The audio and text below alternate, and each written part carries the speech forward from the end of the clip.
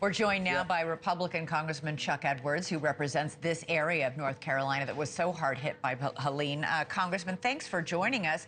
Are these folks going to be able to vote? Can you get the word out where they're supposed to go? Oh, most certainly. We will be voting here in North Carolina.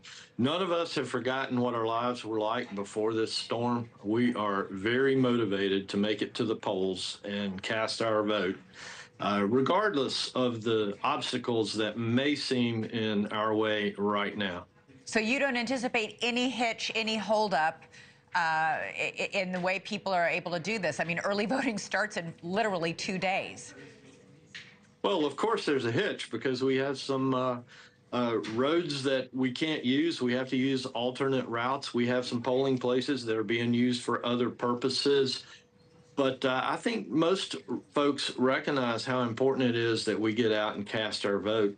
The important thing is we start thinking about it right now. Yeah. Uh, while folks are still trying to dig their way out and uh, figure out how they're going to take care of their families, uh, they will very quickly realize the constitutional right and obligation and responsibility that we have to get out and vote. Our General Assembly has allocated quite a bit of money, about $5 million, to help get the word out and educate folks where they can vote and the fact that they need to vote. Uh, and I'm sure all the political parties are going to be out there activating their voters as well. Uh, I want to ask you about all the disinformation that's been rampant there. You actually had to send a letter to your own constituents telling them that, quote, no one can control the weather. This was after Marjorie Taylor Greene posted something on social media saying Democrats are controlling the weather. Did people actually believe that?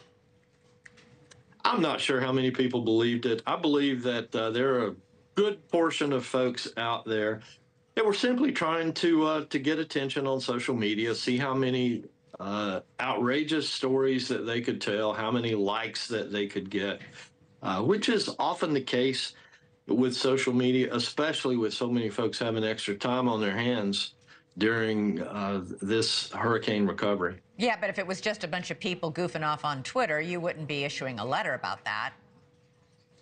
Well, there were a lot of folks that uh, were calling my office, asking various questions, issuing uh, uh, uh many different concerns about how FEMA uh, was was handling different situations.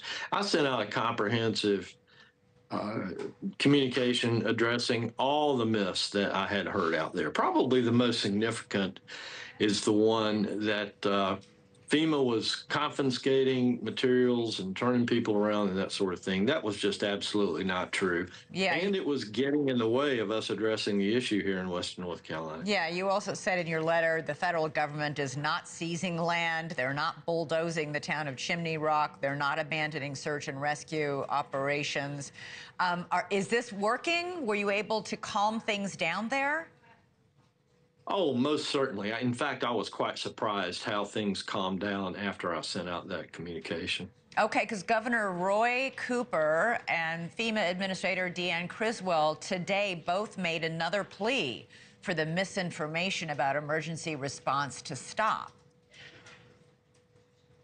Well, I know that my office is not handling nearly as many as those types of calls and emails as we were before the communication. Uh, as you know, over the weekend, FEMA operations were paused in two counties. Door-to-door -door operations did resume yesterday. Um, this was because there had been uh, uh, reports that have not been proven true of armed militias driving around threatening FEMA workers. However, there was an arrest of an armed man who was uh, threatening FEMA workers and was he was arrested right outside a FEMA distribution center. Yeah, so uh, I, I I think that that uh, that threat was proven true. Uh, there have been no widespread threats. There have been a couple of one-offs reported to me by county sheriffs in in in my district, uh, and it's unfortunate because. Uh, we have many FEMA workers out on the ground now that are actually going door to door and trying to help people in uh, re recovering from this horrible storm. Thanks so much for watching. Go to joinnn.com to find News Nation on your television provider. And don't forget to click the red subscribe button below to get more of News Nation's fact driven unbiased coverage.